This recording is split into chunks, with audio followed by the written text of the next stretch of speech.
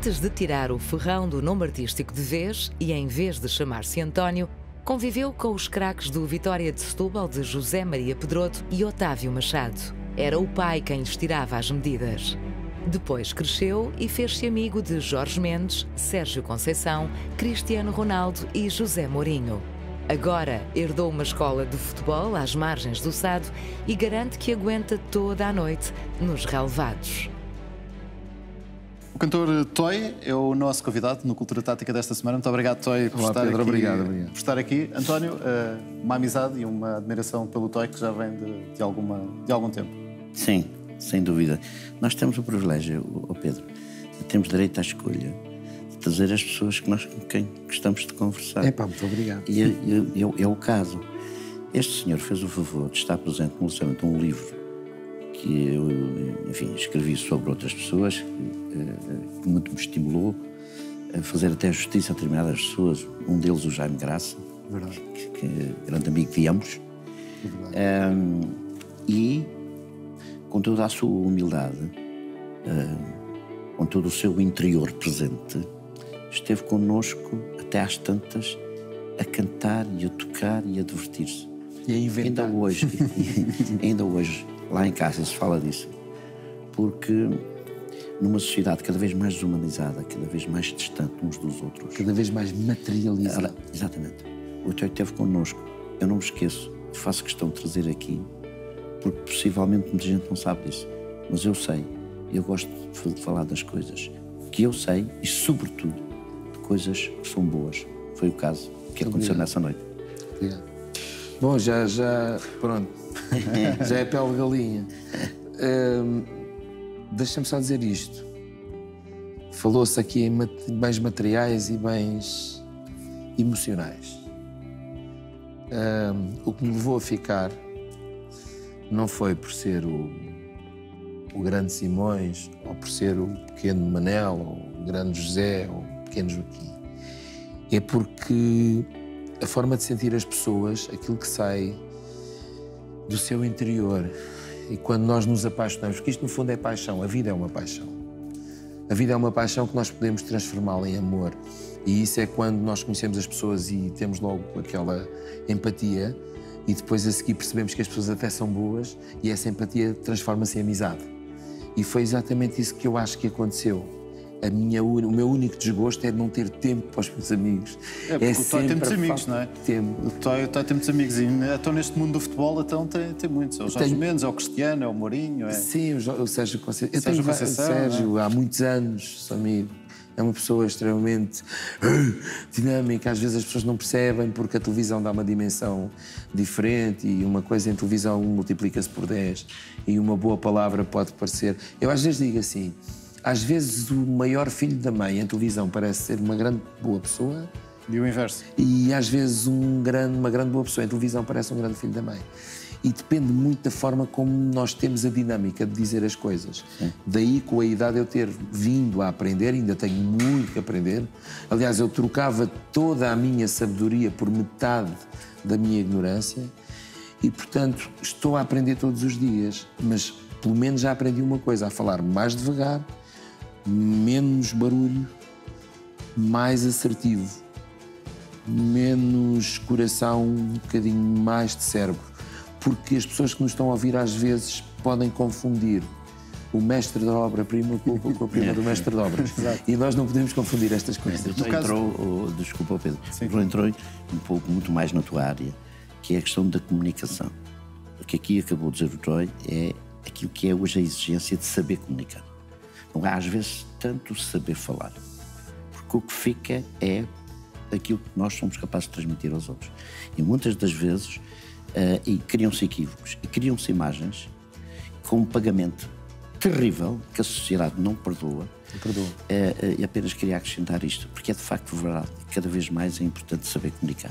Estávamos aqui a falar do, do Sérgio Conceição, tem aqui uma amizade há muito, há muito tempo. É um bom exemplo de, de quem às vezes não é bem compreendido. É, porque o Sérgio ficou órfão aos 15 anos, de pai e mãe. Foi o chefe de família aos 15 anos. Com o dinheiro que ganhava no- nos, a jogar nos futebols, nas académicas, depois no Porto, no Felgueiras, etc. E foi um homem muito sofrido. Um homem muito que chora, um homem que chora. Como vimos na final da taça, não é? Que chora porque, porque as coisas não lhe correram mediante aquilo que lhe parece a ele que seja a justiça e que pareceu a algumas pessoas, a outras não, mas isso é uma questão. De... E isto não tem nada a ver com clubismos, isto tem a ver com formas e maneiras de estar na vida.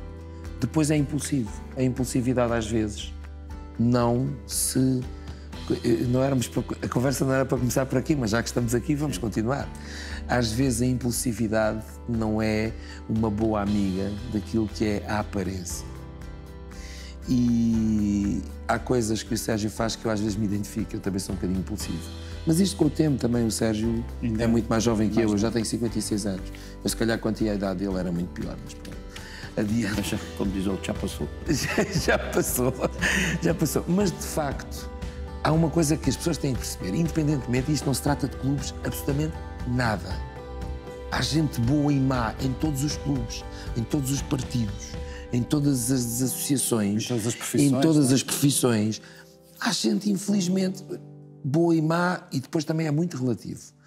Eu, por exemplo, quando no Natal me convidam para cantar nas prisões, nas cadeias, nos, nos, nas penitenciárias, etc., eu começo a cantar e percebo que aquela gente que está ali porque teve maus comportamentos ou más atitudes, deverá e com certeza haverá algo de bom ali. No fundo, é tentar desbravar esse algo de bom que essas pessoas têm e tentar enterrar o mal que essas pessoas têm. E nós olhamos para uma pessoa e nunca podemos fazer uma avaliação total. Não somos todos bons nem somos todos maus, não é? É verdade, e este problema do mediatismo e agora com as internets que a mentira tem perna curta que isso é uma coisa que me agrada porque eu sempre fui muito frontal e tenho muito poucos filtros. Será que tenho algum? Se calhar não tenho nenhum. E, e isso agrada-me, porquê? Porque a mentira tem perna curta e como eu não tenho nada a esconder, a minha vida é um livro aberto. É. Isso, isso leva-me aqui a acrescentar esta pequena nota, que é o seguinte. Já aqui falámos uma vez, creio, Pedro, a questão que é que existe, o que é que, deve, o que é que deve ser feito entre os defeitos e as virtudes. Ou seja, todos nós temos defeitos e virtudes. Um, muita, dessa gente, possivelmente, não foi capaz de resistir aos defeitos que deixou sempre vencer as virtudes. E este é o grande desafio que se, que se põe a todos nós, como seres humanos, como cidadãos, em que um, devemos sempre ter em atenção temos virtudes para vencer os defeitos. Se o conseguirmos, nós estamos perante, seguramente, uma pessoa que nós respeitamos, que nós até gostamos, porque não, não, não, não, não somos obrigados a gostar, mas devemos ter como princípio básico sabermos respeitar, independentemente de onde se encontram. E aquilo que o Toy aqui falou, uh, e essa experiência que teve, leva a ir buscar o seu sentimento que está uh, lá muito profundo, mas encontra o chamado balance, não é? O equilíbrio. E é o equilíbrio é que é a palavra-chave da vida. É. é. exatamente isso, é o equilíbrio. Mais equilibrado parece ser o seu conterrâneo Bruno Lage. Que opinião é que tem dele? Neste momento está muito bem equilibrado. Eu gosto do Bruno Lage. Houve ali uma altura que houve uma frase que eu não achei muita piada, sinceramente. Mas que depois, no final, ele teve um discurso, na minha opinião, para um jovem que está há pouco tempo na ribalta, que de repente passa do anonimato basicamente para uma ribalta muito complicada, eu acho que ele no final teve um discurso muito, deixa-me ser um bocadinho terra a terra, muito setubalense, uh, porque eu sou de Setúbal. Teve um discurso muito setubalense, um discurso muito.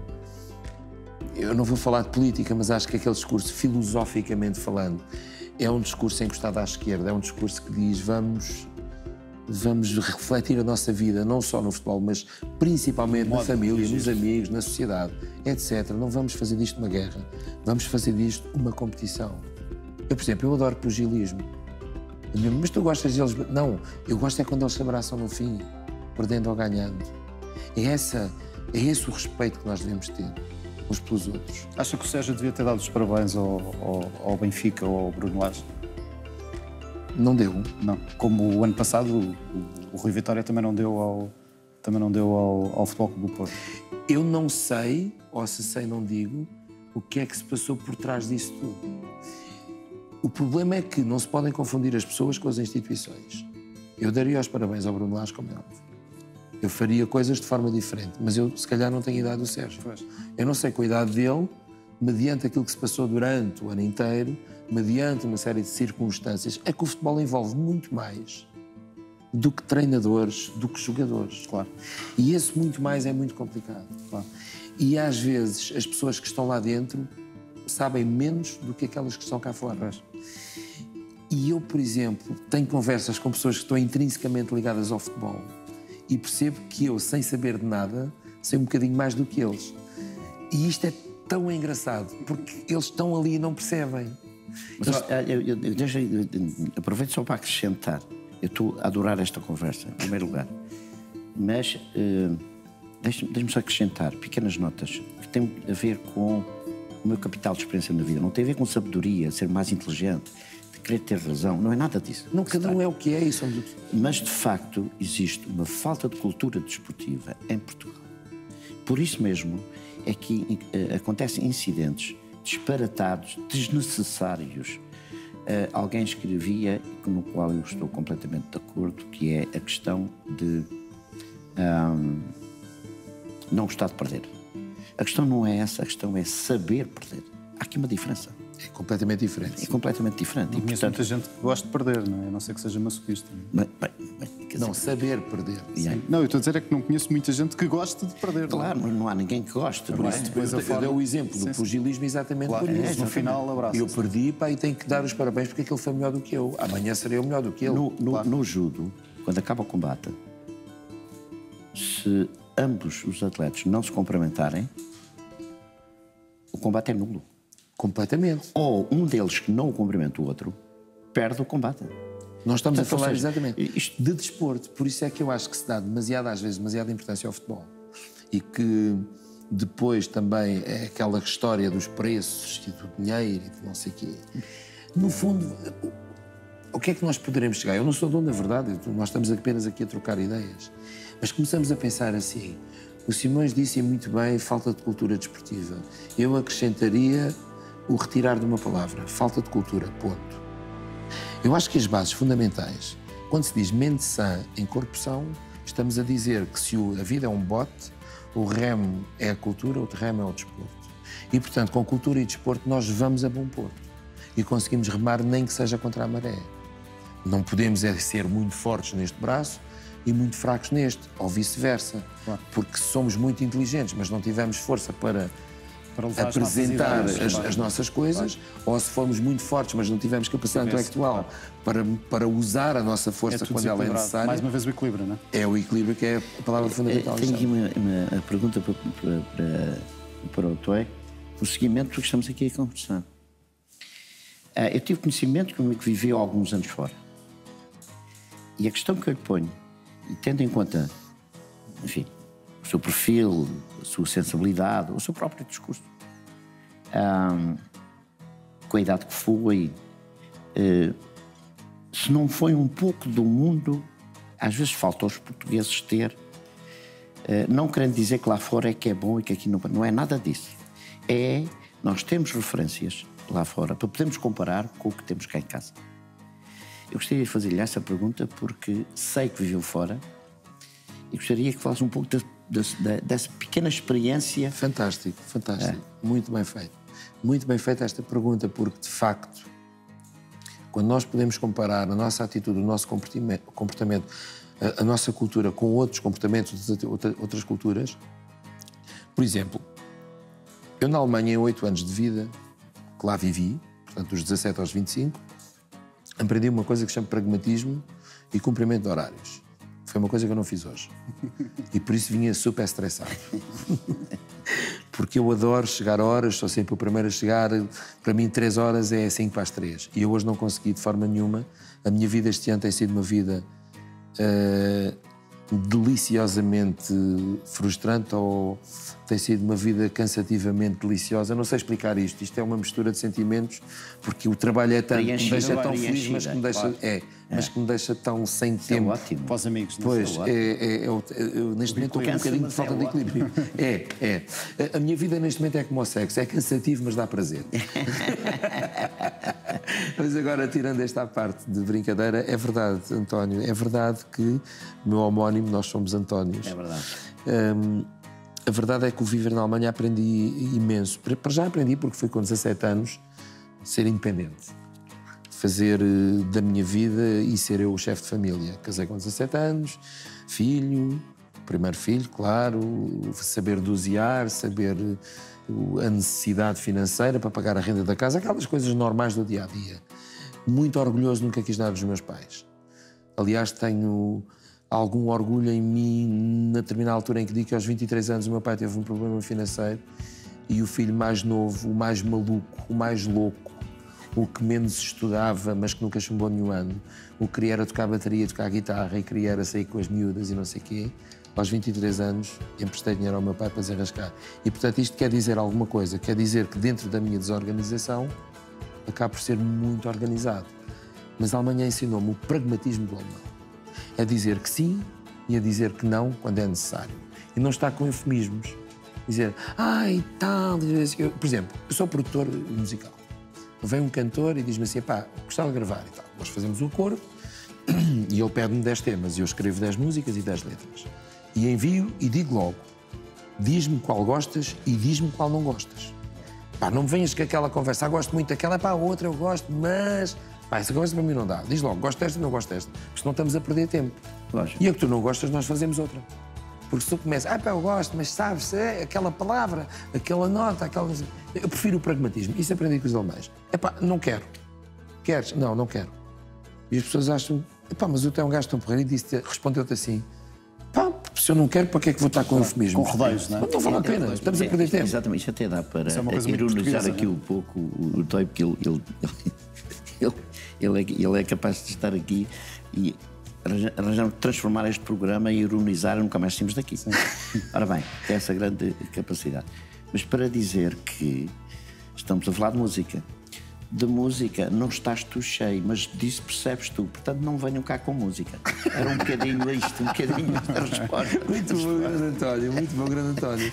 Muito falou bom. aqui no, no, seu pai, falou aqui já em Setúbal. O seu pai era alfaiate e era alfaiate do Pedroto. Meu pai fez os fatos do José Maria Pedroto.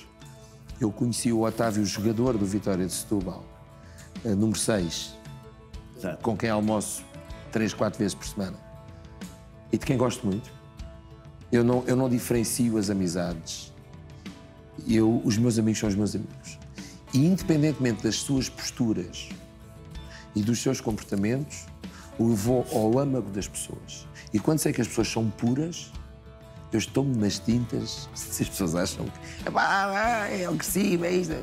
Mas se é pureza, é como apanhar uma batata da terra. Ela vem suja, vem com estrume. Há que a lavar, há que tirar a pele e há que cozê-la e comê-la. Não vamos comê-la como arrancamos da terra. Claro. E, portanto, a pureza para mim é fundamental.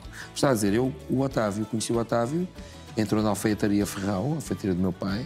Estamos a falar em 1969, 70 eu nasci em 63, portanto tenho, tinha 5, 6 anos quando conheci o Otávio e José Maria Pedroto, o homem do boné, que era é. treinador do Vitória, numa equipa que tinha Joaquim Torres na baliza, que faleceu há, Agora há uma tempo. semana. Exato. E para já a minha solidariedade para com a família e os amigos, que ainda me tirou muitas fotografias enquanto fotógrafo. Número 2, Rebelo, que deve ter sido o teu é direto. do meu tempo. O, o teu direto. O opositor. Carriço mais esquerda. O Carriço, o número 5. O Carlos Cardoso ao meio, na altura, penso que o Zé Mendes. Depois ao meio tínhamos ali o Otávio, o Wagner, tínhamos também o Tomé, e o Tomé mais cedo. Sei, não sei se nesse ano o Matino tinha ido para lá. O Matino foi comprado por Exatamente. 70 contos ao Benfica, ah, em dinheiro pelo. Xavier de Lima. Ah. Isso eu sei disso-me o Matino a mim. Ah, exatamente. Quando ele era diretor desportivo da Estrela da Amadora. Depois tínhamos à frente, já não estava o Conceição nem o Zé Maria, da equipa do que eu estou a falar que ficámos em segundo lugar. É. Tínhamos o Zé Torres, o grande gigante, tinha vindo do Benfica. É. Já diziam, ah, já vem para cá os velhos e não sei o quê. É, fez uma época. É a história do, do Vitor Batista, é, né? na troca o É na troca com o Vitor Batista, vem o Zé Torres, ainda temos o Duda número 10 e o JJ número 11. João, e fizemos um segundo lugar brilhante. Pá, e depois, no ano a seguir, o Pedroto vai para o Boa Vista, penso eu. Depois vai para o Porto, vem buscar o Otávio, o Otávio leva o Duda e o Joaquim Torres. É curioso porque o Benfica é campeão nesse ano, mas perto que o Vitória Setúbal em casa 3-2. Nós estamos a falar uma aqui de uma equipa fantástica. O Jota este... era, era malandro a jogar a bola. Exatamente. Outro que não se faz a devida justiça. Não se fala destes grandes jogadores. Posso contar uma história para, partilharmos com os nossos telespectadores? também eras com certeza absoluta amigo do Russo, do Arthur. Sim, claro. também é saudoso, também devia estar aqui ao pé de nós. O Arthur dizia-me assim: epá, o Jota é que me lixava. A gente entrava no, no, no túnel antes de entrar no campo e o Jota dizia-me assim: tenho uma nova, pronto. Estragava-me. Ainda por cima era bom rapaz e eu não lhe conseguia bater. Mas o Jota acho que era mesmo traquinas a jogar a bola. O Cristiano Ronaldo tem uma cena do lado esquerdo no ataque contra a Suíça, que ele parte o defesa É. para um lado e depois parte para o outro. Lembrou-me o JJ contra o Tottenham em 1970-71, em que nós tínhamos perdido um 1-0 na Inglaterra com o Tottenham, os quartos de final da UEFA, e em casa estamos a ganhar 2-0. Eu lembro do Jota fazer aquilo, parar a bola, esperar para o defesa e fazer outra vez. Eu Lembro-me disso. Perdemos, Falou- Ganhámos 2-1, fomos eliminados. Falou aqui do, já do Vitor, Vitor Batista, eh, que é também um dos cromos do, do futebol português. Temos aqui um livro para si, que é os 101 cromos da bola. Ah, pá, que maravilha. Muito Vitor obrigado. Batista eh, Está é- aqui, está aqui, vê-se logo. está ele. Está aqui. que está é, aqui. é provavelmente um, um dos maiores cromos da Se calhar da o maior mesmo. O Vítor Batista, eh, eu conheci pessoalmente, porque ele foi sócio de um primo meu, o grande Ricardo Albuquerque, que foi o homem que me ofereceu a minha primeira bateria, quando eu tinha 5 anos. Isto são histórias que nós devemos partilhar. é? claro. Que as pessoas devem Não as pessoas não sabem. E de repente o o, o meu primo Ricardo Albuquerque era forcado da tertúlia tauromáquica setubalense, pintor excelente, grande barbeiro, capacidade, marinheiro, carta da marinha, tinha tudo. Portanto, era homem dos sete ofícios. Mas era um louco. Era conhecidíssimo em Setúbal, era um louco, era briguento. Era... E depois resolveu abrir um restaurante em sociedade com o Vítor Batista. E eu fui muitas vezes ao restaurante A Roda, em Setúbal. E eu fui muitas vezes, e foi, eu conheci muitas vezes, e tive muitas vezes e privei com o Vítor Batista. A mulher dele, coitadinha, ia se queixar para a casa da minha prima Elizabeth. Ai, meu marido é maluco. Agora não sei o quê, agora isto, agora aquilo, pronto. Aquelas histórias. Exato. E eu miúdo, mas lembro-me algumas conversas. O Vítor Batista era aquele que, se os outros iam de, de Porsche para, para o treino, ele ia de cavalo. E, e no, em pleno verão comprava aquelas botas alentejanas, ia de cavalo para, para a Praça do Bocage, a cavalo. Era, era efetivamente o verdadeiro exibicionista. Aliás, a história do brinco na luz Sim, sim, é uma história de, do cham- da chamada de atenção. É Eu um- sou é um o homem que rompe com ah, É- é- algumas É a tradições. primeira rockstar do futebol português, não é? É, Ele, é, ele é o homem revolucionário, ah, consciente ou inconsciente. Não, não está agora isso em discussão. A verdade é que nós gostávamos dele. Ah, Sim, porque e- tinha bom e- íntimo, lá está. Exatamente. exatamente. nasceu no bairro da- da- Ele só da fez mal a si próprio. Ele só Ele, fez mal a si ele só foi mal para ele. Para Mas eu vivo nos Estados Unidos, estou a acabar a carreira e lembro de levar o Vitor Batista para os Estados Unidos. Ainda com grande capacidade física e de ser o ponta de lança que a equipa era necessária. ele era possante, ele era possante. Ehm, e- e- mas, como tinha estado ausente, eu não tinha tomado conhecimento da evolução, infelizmente, contrária àquilo que se pede a uma pessoa já com aquela idade, ter alguma maturidade, etc, etc. E obviamente que Ele tive problemas com isso. Exatamente, ele morreu criança.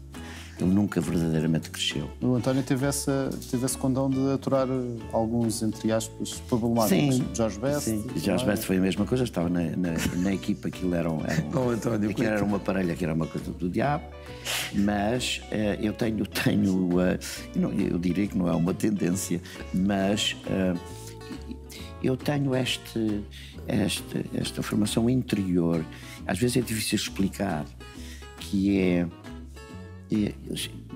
eu não me importo nada de ter disponibilidade eh, de poder eh, compreender que alguém precisa de alguma ajuda. Portanto, ou seja, eu não estou à espera que as pessoas sejam mal para eu ter que ir ajudar. Lamentavelmente, eh, quando nós vamos ajudar é porque alguma coisa não está muito bem. Mas, mas eu não fujo, eu não evito. Não viras as costas, também não viro Não. as Seja de qualidade for, eu, se puder ajudar, eu ajudo. É claro que tenho mais apreço por gente ehm, que percebe isso e que aprecia isso também. Mas às vezes não é possível eh, as pessoas entenderem que estão do outro lado, porque eles não estão a perceber. O nosso entendimento de que a pessoa precisa de ajuda, acho que nos traz paz, sobretudo, e esta disponibilidade humana de, de termos um pouco de atenção para com os outros. Porque, de facto, cada vez mais parece que estamos, to- estamos todos cá, mas parece que estamos todos sozinhos. E isto revela uma distância que eu não tenho preço rigorosamente nenhum, onde as pessoas do desporto, curiosamente, continuam a perceber que vale a pena ser solidário. E aí o futebol. É um bom exemplo. É um bom exemplo. Deixa-me só, permites, pegar agora no bom exemplo da solidariedade. Eu tenho uma escola de futebol chamada Sonho 21 em Setúbal, tenho 300 meninos. É uma associação, eu tenho, mas não é meu. Sim. Enfim, é, teve a ver com. tive que resolver ali um problema. E ao resolver o problema fiquei ligado. E acabei por, por, me apaixonar pela causa. E ao apaixonar pela causa percebi cada vez mais que o futebol é o melhor exemplo e como espelho da sociedade. Para o bem e, infelizmente, às vezes para o mal. Para o bem no aspecto que está o guarda-redes, está dois avançados, este tem a bola e, portanto, tem duas decisões a tomar. Ou tenta fazer gol e tem menos hipótese, ou dá a bola ao outro que está sozinho porque o guarda-redes já se fez a ele e, portanto, o outro tem mais hipótese de fazer gol. Portanto, ele perde o protagonismo porque dá o gol a marcar. Chama-se solidariedade. Eu não quero ser o rei desta porcaria toda, eu quero apenas que a nossa equipa vença. E para a nossa equipa vencer, temos que fazer gol. Há mais probabilidades de ser ele a fazê-lo do que eu, portanto vou distribuir, em vez de tentar ser eu o rei e fazer um grande gol. Pronto. Isto é um bom exemplo do que é ser solidário. Depois é eu ter meninos de um bairro complicado de Setúbal, que estão juntamente com meninos que têm a felicidade de ter os pais com mais possibilidades e vê-los às vezes a, a, distribuir o lanche, a dizer, olha, tenho duas santos, tu não tens nenhuma, toma lá, come lá metade da minha. É. Portanto, tudo isto Esse faz parte. da solidariedade. Tu, mas Ora, tudo isto está. faz parte, porque estamos a falar de uma... Estamos a falar de futebol, mas estamos a falar de uma escola. Claro. E escola é para aprender e para ensinar. E a vida é a melhor escola do mundo e o tempo é o melhor mestre. E é por isso que eu acho que há muita gente que não vai à escola e que não aproveita o professor. Ou seja, que deixa que a vida lhe passe ao lado e que deixa que o tempo lhe passe ao lado. E quando chega a altura, depois de querer, diz assim: Tu agora queres, mas tu não ouviste o que o professor disse. Não foste às aulas, agora não sabes. Portanto, não estiveste atento. E a sociedade hoje oferece-nos tanta. Tanta distração. Pronto, é uma boa palavra. Eu ia dizer tanta porcaria, mas pronto. a vida hoje oferece-nos tanta distração que, que se tu espremes aquilo não deita nada, que as pessoas se distraem, eu próprio me distraio com algumas porcarias, porque eu não sou nenhum santo. De vez em quando também gosto de ver assim umas coisas esquisitas. Eu, eu sou assinante do, do, do, canal de Vênus, por exemplo. Quem diz a verdade não merece castigo. Uh, mas a verdade é que temos também que aproveitar as coisas sérias e boas da vida, porque a cultura é o alimento do espírito. A comida é o alimento do corpo. Mas a cultura é o alimento do espírito. Claro. Se não tiveres cultura, tu não tu, tu estás subalimentado, não. É um que, que inadaptado. É que fazer? Que, constante inadaptado. É, é, deve ser uma chatice estar numa conversa com, com 10 pessoas e tu não estás a perceber nada do que é que eles estão a dizer. Deve ser uma chatice horrível. E, e, e de repente começas a perceber: espera aí, mas eu não percebo nada disto, o que é que eu estou aqui a fazer? E sentes-te mais pequeno. E nós não nos podemos sentir mais pequeno. Por isso, o conselho que eu dou aos telespectadores, e porque isto é um programa para nós conversarmos, mas que a nossa conversa seja útil a quem está lá em casa, e muito obrigado pelo convite. Uh, o que me apraz dizer, os, nós temos aqui gerações provavelmente diferentes, portanto, o Pedro será um menino ao pé de mim e mais Ele menino. joga nos Júniors. E eu estou mais ou menos. Coisa, é, exatamente. E ainda jogo. Ainda. Pau, pau, mas jogo. mas olha, deixa-me dizer-te uma coisa. No outro dia tive o Nuno Pinto, que teve um problema de. Estávamos aqui a falar de solidariedade, eu ia falar exatamente. precisamente dessa. O Nuno Pinto já agora foi Sim. convidado para almoçar, almoçámos, fizemos uma reportagem para o Jornal da Concorrência, não interessa, mas que foi muito bem reportado e convidei-o para jogar na minha escolinha, porque eu jogo às segundas e quintas, com uma alta de 30 anos. E vou só dizer que ele marcou um gol e eu marquei três nesse jogo. Vamos aproveitar a deixa do Toy, até porque já não temos mais tempo. Onde é que colocaria aqui o Toy, não sabendo qual é a posição que ele não disse nada, que marcou três gols, onde é que colocaria aqui o Toy a jogar? Uh, eu acho que ele é um pensador. Nós sabemos que ele é um cantor. Sabemos que compõe. Sabemos isso tudo. Uh, acabámos por saber de algumas coisas que eh, confirma aqui, aquilo que era o meu pensamento. Portanto, eu vou pôr-lhe a pensador do jogo. Porquê? Porque tem a sensibilidade da relação e da responsabilidade que é um jogo. E, eh, de facto, a vida também é um jogo. Tenho consciência disso e por isso procura ser aquilo que nós chamamos não o cidadão submisso, mas o cidadão atento. É isto. Muito obrigado. E deixa-me só. Já me arrepiaste duas vezes. À terceira pagas o almoço. deixa-me só dizer isto. De facto, eu, quando, por exemplo, quando jogo a bola, e mais um exemplo de solidariedade, eu digo sempre isto nos concertos: aprendam uma coisa que eu não quero ensinar a ninguém, porque eu acho que cada um deve aprender por si. Mas se eu puder ajudar a aprender mais rápido. Mas há uma coisa que eu aprendi na vida: é que ser feliz não é abrir os bolsos para deixar que o dinheiro entre. Ser feliz é aprender a abrir as mãos para dar aos outros. E o futebol tem esse exemplo. E, e, tu disseste bem, eu às vezes recebo a cá atrás e estou sempre a ver quem é que está solta, quem é que eu posso fazer feliz. Para entregar. Toma lá e faz tudo. Tentar a vida mais fácil ao outro que recebe. Exatamente. E no futebol acontece às vezes o que acontece na vida. É a, a, a síndrome de caranguejo, que é a, o passe já é feito propositadamente mal, que é para o avançado ficar mal visto. Isto acontece no futebol. Isto acontece na vida. Quando o caranguejo quer sair do balde e quando já está quase a conseguir, o que é que fazem os outros? Puxam-no para baixo. É. E isto é mau. São os maus exemplos da sociedade. Os bons exemplos não são os do caranguejo. Os bons exemplos, não sei se haverá outro animal, mas os bons exemplos é quando aquele está a conseguir, eu posso morrer, mas pelo menos há um que salva, então vou ajudá-lo. É isto que é fundamental na vida. E é isso que se deve cultivar. Isto é cultura isto é educação, isto é um bom exemplo para os políticos que vão passando pelo nosso país, aprendam de uma vez por todas que o maior investimento que se deve fazer politicamente numa sociedade é na cultura e na educação. Ponto final. A partir daí, pá, se sobrar, então podemos brincar um bocadinho. Mas aprendam, por favor, isto. Isto aqui eu não me importo de ser denominado professor e autodomínio professor para os senhores políticos de Portugal. Cultura e educação. Porque se as pessoas não souberem, nunca mais conseguem viver. Há que aprender primeiro a viver para depois saber. Professor Toy, muito obrigado pela sua presença.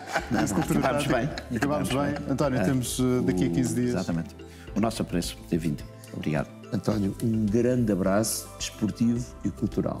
Obrigado. Muito obrigado. Também obrigado. Mais, mais uma vez, muito obrigado, Toy. António, daqui a 15 dias temos mais convidados no Cultura Tática. Exatamente. Muito obrigado mais uma vez. Temos então, daqui a 15 dias, mais convidados no António Simões neste Cultura Tática. Até lá já sabe. Fique bem. Fique com a Sport TV.